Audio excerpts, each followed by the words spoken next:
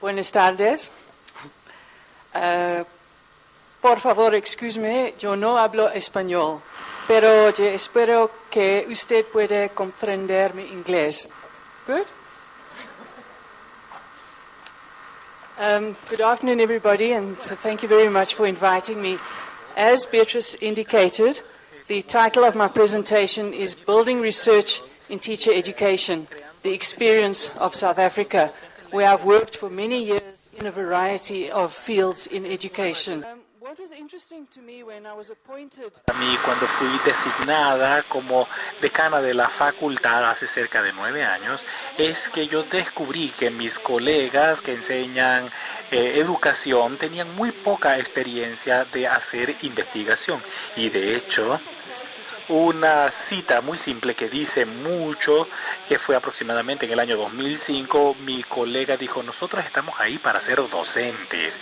Y estas eran colegas que habían trabajado principalmente en una universidad para docentes y eran muy buenos en eh, lo que hacían, pero se veían a sí mismos como profesores, no como investigadores. Y yo llegué con la idea de que teníamos que generar investigación y que la investigación iba a promover y mejorar la eh, educación y capacitación para docentes. Lo que yo no me di cuenta cuando llegué a este cargo es que hacer investigación no se trata solamente de buscar y conseguirse el tiempo para hacerlo, sino una reconceptualización total de la posición como profesores del área de la pedagogía. Así que pasamos por un proceso bastante amplio en términos de reconstitucionalizar nuestra función de docentes. Y si alguno de ustedes está interesado en este proceso que ha sido publicado en el Teacher and Teacher Education, la mayoría de ustedes sabrá que sufrimos 40 años de explotación racial y de apartheid, muchos años de opresión de muchas personas en nuestro país, sobre todo de las personas de raza negra.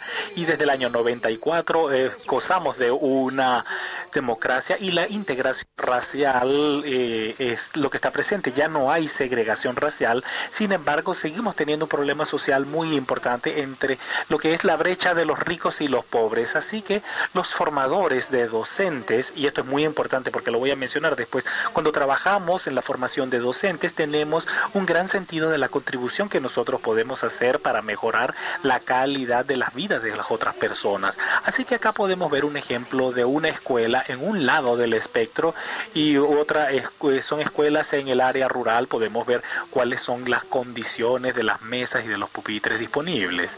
Y si eso lo comparamos con otro colegio que uno podría encontrar en una ciudad quizás de clase media, con muy buenos recursos, eh, con campos deportivos, laboratorios, eh, con eh, una pizarra electrónica que ni siquiera yo sé todavía cómo utilizar, pero bueno, no importa.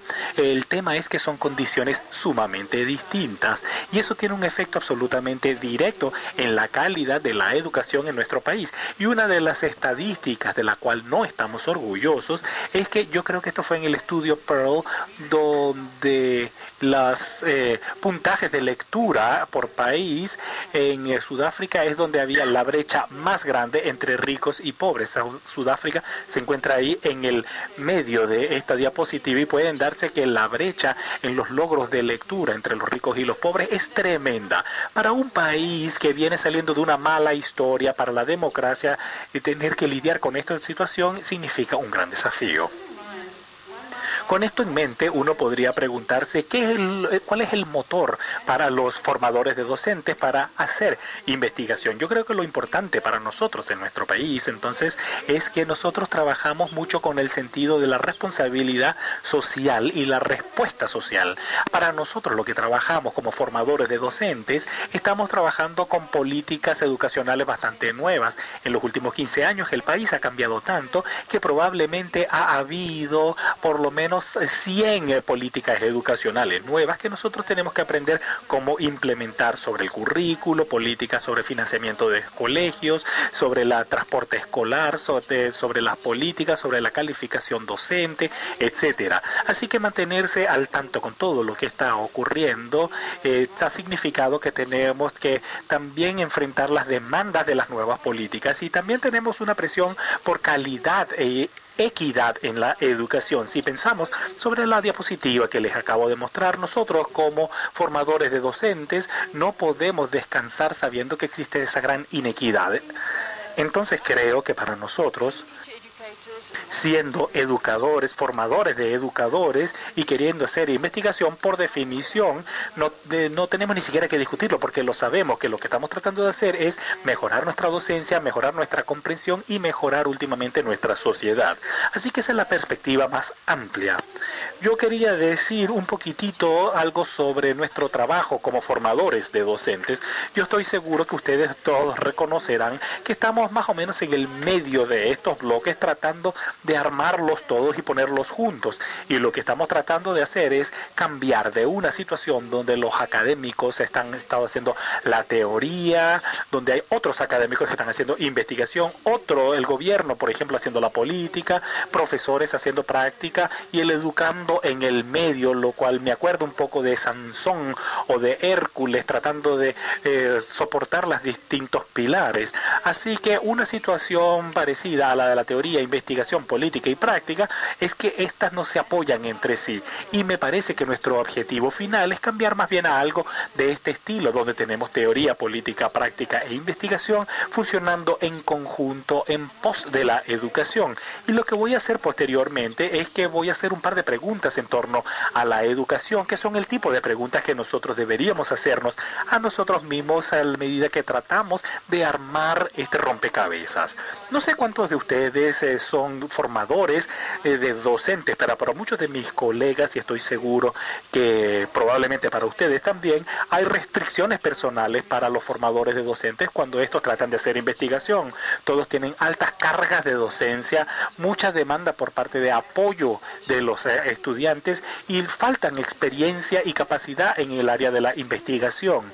Los eh, alumnos con los que se están lidiando vienen a la universidad que no tienen suficiente destreza de escritura y de lectura sin experiencia académica suficiente y en la mayoría de los casos serán la primera generación de sus familias en ingresar a la educación superior, así que se requiere de mucho apoyo para estos alumnos. Y por supuesto al ser formadores de docentes se comprometen como buenos alumnos y se dedica una gran cantidad de tiempo y eso obviamente le quita tiempo para la investigación además de la inexperiencia que tienen en este ambiente pero también hay eh, restricciones sistémicas por parte del sistema. Y quiero mencionar, por ejemplo, los cambios eh, políticos continuos, tratar de mantenerse al día con la variedad de políticas que salen y desaparecen, es agotador. Y cuando uno empieza a lidiar con las implicancias de una política, inmediatamente surge otra. Así que la investigación por parte, eh, investigación de la política ya es un elemento importante de lo que hacemos. Otra cosa que encontramos un poco perturbador, no sé cuál es la situación exactamente en Chile, pero no hay una asociación de investigación dedicada para los formadores de docentes. Por ende, estos van generalmente van a presentar sus trabajos en otras conferencias y se pierden entre todos los artículos. Y es algo que hemos debatido y no hemos llegado muy lejos, es si la formación de docentes debe hacer su propia asociación de investigación, tanto para juntarse como para poder elevar el estado y la calidad de nuestra educación. Y pensando un poco en la historia que ya mencioné anteriormente sobre el apartheid y las distintas ideologías que han surgido con el tiempo después de la democracia en estos últimos 15 años, seguimos teniendo una fragmentación de asociaciones de investigación nacional. Tenemos quizás unas 5 o 10 asociaciones de investigación que están haciendo más o menos lo mismo, lo cual es una lástima porque es una pérdida de tiempo y actualmente está tratando de unirse para aumentar la voz de, la investigación porque no podemos darnos el lujo de no hacerlo. Así que al pensar sobre cómo armamos este rompecabezas para mejorar la investigación y la educación, me parece a mí que hay cuatro áreas que son críticas. La motivación, la oportunidad, la identidad y el apoyo. Y yo eh, quiero mostrarles un poco cuál es el viaje que nosotros hemos hecho en los últimos años. Desde el punto de vista de la motivación, muchos formadores de docentes dicen, la verdad es que yo no quiero hacer investigación.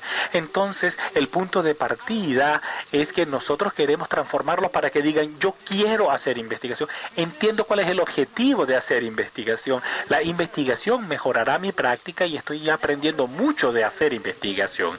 Y eso se remonta a la primera diapositiva que les mostré, donde el colega, la colega dijo, nosotros estamos ahí para ser profesores. Entonces, eso quiere decir que esta persona no entendía cuál era el verdadero objetivo. Cuando partimos con el proceso de tratar de mejorar la capacidad de investigación de nuestros formadores de docentes, no entendíamos la identidad propia que teníamos eh, como investigadores y las razones por la cual debe hacerse investigación y la importancia de todo esto.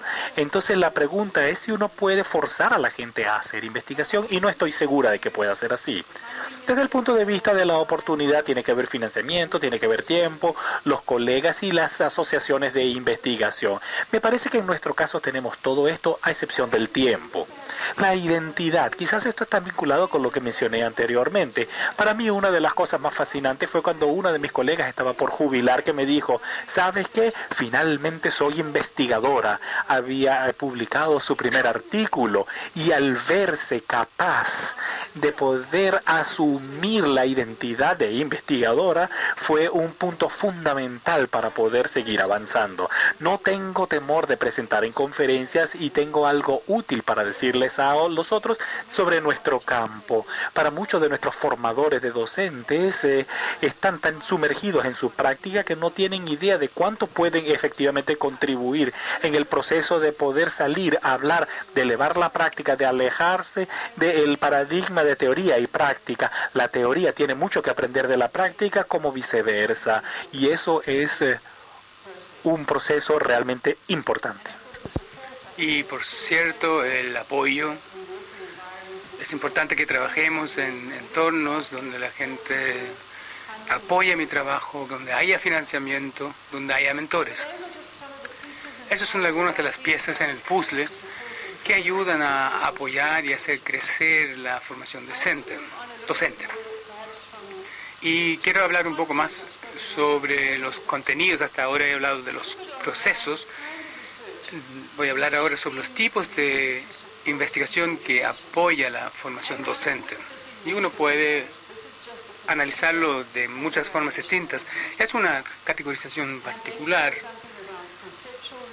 Voy a hablar algo sobre investigación conceptual, estratégica, estudios de caso, investigación de la acción, investigaciones de políticas a gran escala y estudios longitudinales.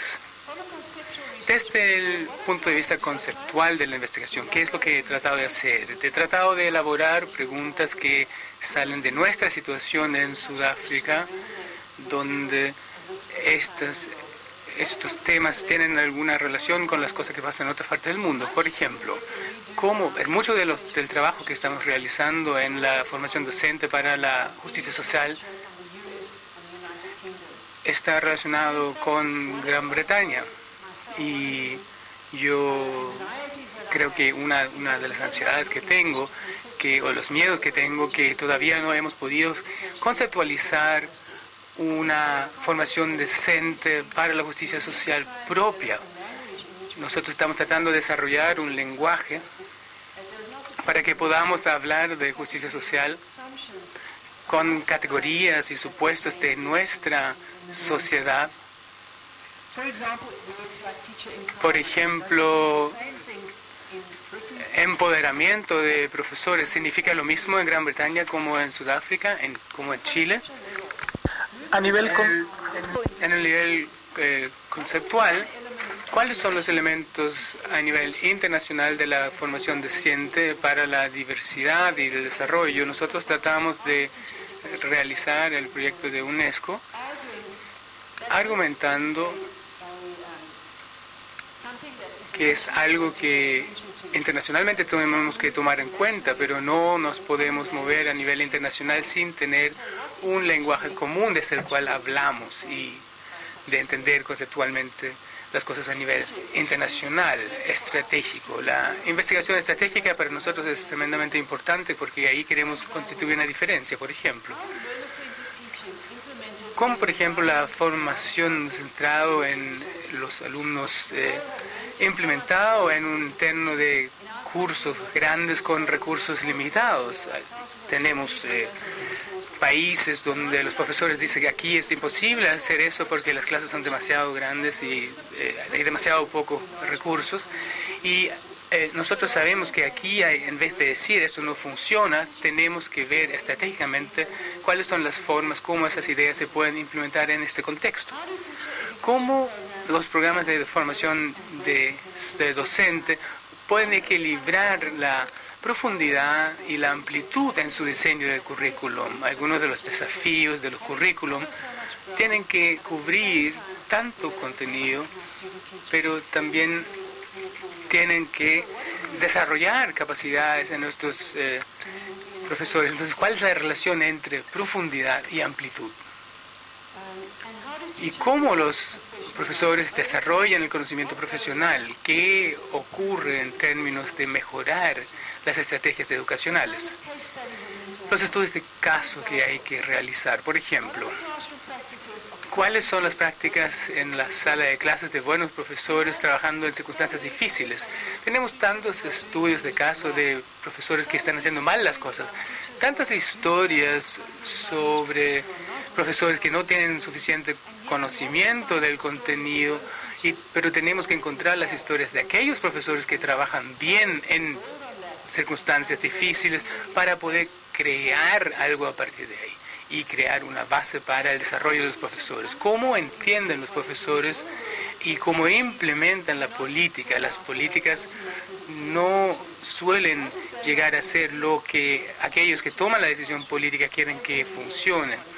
Y esto vuelve o se remonta a mi argumento que, la política y la práctica se tienen que vincular, eh, tenemos que desarrollar tanto políticas y hacer investigaciones y eso es un punto de importancia estratégica. A nivel de la investigación de la acción, es muy importante en un país en cambio. Hay que ver que los profesores no simplemente implementen políticas, sino ellos tienen su input propio. Entonces hay cientos de preguntas que se pueden hacer aquí. Eh, aleatoriamente tomé dos. ¿Cómo adapto mi enseñanza en una sala de clase donde los alumnos tienen distintos eh, idiomas maternos? Aquí se comparten, comparten alumnos de muchos eh, idiomas distintos y cómo adapto mi enseñanza, cómo le doy forma a cualquier política específica si no estamos viendo o mirando a nuestros profesores como agentes de cambios, entonces eh, e-, ellos no pueden ser personas que simplemente implementen las ideas de otro. La investigación eh, política larga, de políticas a, gran escala, una pregunta, ¿tienen las universidades la capacidad de capacitar de formar la cantidad de profesores que necesita el país eh, sabiendo qué están haciendo las personas, cuántos años necesitan, cuáles son sus calificaciones y eso es algo que va, a ayudar grandemente en el diseño de nuestras políticas, de nuestras investigaciones. ¿Cuál es el nivel del conocimiento de los profesores en áreas temáticas particulares? Y eso se ha transformado en un gran tema políticos y los profesores no tienen el conocimiento suficiente para, enseñar a sus propios alumnos. Entonces el problema es cómo se va a ver la educación de aquí en adelante. Y los estudios longitudinales, que es algo que a muchos les interesa, ¿cuál es la relación entre los modelos de la formación docente y de los logros de los alumnos? ¿Cómo podemos asegurar que al final los eh, profesores eh, o los futuros profesores eh, tendrán un resultado más positivo que las generaciones anteriores. ¿Y cuáles son las condiciones eh, en el sistema de los colegios que soportan que es soportado por comunidades y que se practica a lo largo del tiempo. ¿Cuáles son las condiciones en los colegios que permite que ellos los profesores estén enseñando durante largo tiempo. Entonces, esas son solo algunas preguntas de investigación. Hacia el fin de mi presentación quiero darles algunas ideas sobre las brechas y los desafíos que estamos enfrentando en el desarrollo de capacidades de investigación. Tenemos un corte de investigadores de cada vez más edad en educación, tienen muchos, más de 50, 55 años, cerca de la jubilación y resulta muy difícil que aparezcan eh, investigadores jóvenes y parte del problema es que mucha de la gente joven no quiere entrar a una posición académica, no sé si tiene que ver con la globalización y hacer dinero, pero parece no ser un área que la gente quiere enfocar. Y hay que equilibrar las demandas de la vida académica, el apoyo de los eh, alumnos, de los estudiantes, el trabajo académico, la enseñanza. Hay mucha investigación fuera de las universidades y en esta universidad tenemos organizaciones profesionales de investigación que no necesariamente aportan al cuerpo teórico. Eh, puede ser, puede haber eh, investigación, pero no forma parte de la conceptualización científica. Hay una vinculación no muy clara entre la investigación y la formación de políticas. ¿Qué pasa con las investigaciones que se realiza para avanzar, hacer avanzar la política? no sabemos si hay una retroalimentación en la política, no nos queda muy clara la vinculación. Y uno de los estudios interesantes que se ha realizado últimamente es que hemos descubierto que mucho de la investigación científica en, Sudáfrica es de escala pequeña y cualitativa. Tenemos una serie de estudios de caso que nos dicen mucho de lo que pasa en tal o cual área o esta situación, pero estos estudios de caso no se juntan para obtener una idea global de lo que ocurre en el, sector educacional del país. Y al final el rol de los investigadores, investigadores como agentes críticos en la sociedad, trabajando para mejorar la situación en el país, hasta qué punto publica usted investigaciones críticas de la, del gobierno, del sistema escolar, de los profesores, porque al final puede ser que termines desmotivado y eso es otra tensión que se genera. Y al final el potencial para el futuro, como formador de docentes, eh, uno que, es muy entusiasta en la enseñanza y la investigación y nunca terminaría una presentación con las brechas y los desafíos. Voy a terminar con el potencial futuro, lo que nosotros estamos trabajando para una investigación que entrega una base empírica y teórica para la formación docente. Necesitamos un lenguaje con el cual podemos hablar, información que podemos compartir, estudios comparativos que nos dicen qué ocurre a lo largo del mundo y qué podemos aprender del otro tenemos y, estamos desarrollando la capacidad y el interés entre formadores de docentes que tradicionalmente no estaban involucrados en la investigación. Tenemos que compartir estrategias y éxitos a nivel nacional. Aquellos que están involucrados en la investigación hemos entendido que eh, es un buen profesor y nosotros tenemos que compartir las buenas estrategias para avanzar el financiamiento de la investigación cooperativa sobre temas de importancia nacional. Es difícil conseguir un financiamiento de una sola universidad para hacer investigaciones, dado las condiciones en Sudáfrica, las situaciones de financiamiento en las distintas áreas regionales con distintas condiciones varían mucho y terminaría diciendo que las vinculaciones a redes internacionales, especialmente en el sur, están faltando. Tenemos que leer nuestros trabajos, eh, hablar entre nosotros y aquí eh, tenemos la gente ahí en la cabina que ayuda a, unificar los lenguajes. Muchísimas gracias desde mi punto de vista. Baidan Kakulu. Muchas gracias.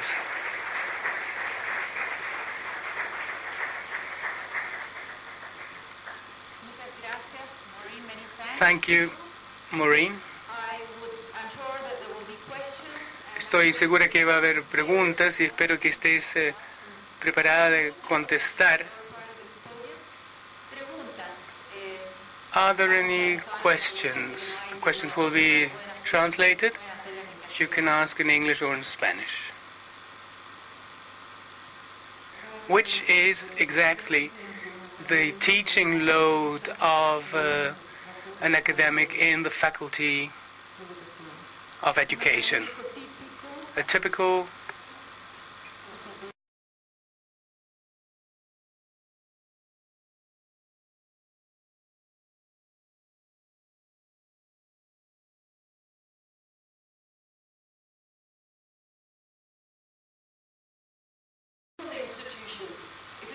Depende de la institución. Si es una institución muy basada en la investigación, eh, puede ser mucho menos, pero en mi institución, 22, eh, 25 horas semanales. ¿Es mucho eso? Es bastante para nosotros. En una institución académica. No, en the Faculty of Education.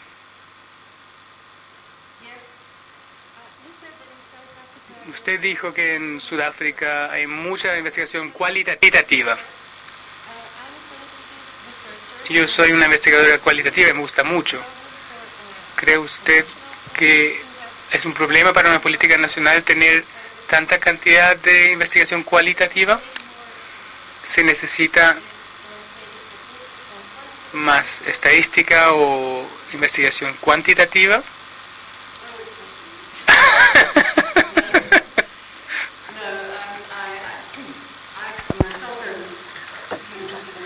Yo estoy personalmente interesada en la investigación cualitativa. No es problema tener investigación cualitativa. De hecho, creo que es sumamente importada precisamente porque tenemos tantos desafíos y políticas nacionales. La investigación cualitativa es el tipo de investigación que puede investigar cómo las personas están experimentando el cambio, cómo están experimentando las nuevas políticas. Porque la investigación cualitativa eh, argumenta que es la percepción de esas personas que están ejecutando lo que sea que ellos hagan que genera, que hace la gran diferencia. Si ignoramos a las personas del país, entonces no estamos haciendo buena investigación.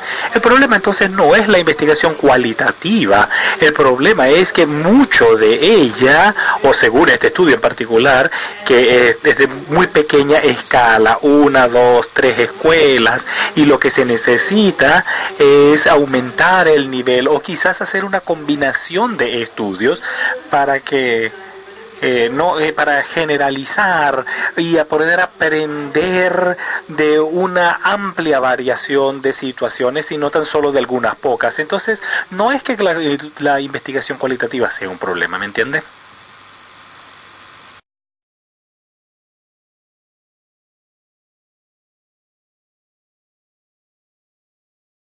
My question is, after all the years of work that you have done academically in your university, what, in summary, would you say are the problems that you have had to face in order to overcome the way that the academia perceived uh, uh, teaching and what you said that was. Uh, changed to make it into a more researching mindset in order to improve education in your country because I think that there are lots of similarities of the problems that you have faced before the problems that we face here in education and teacher training.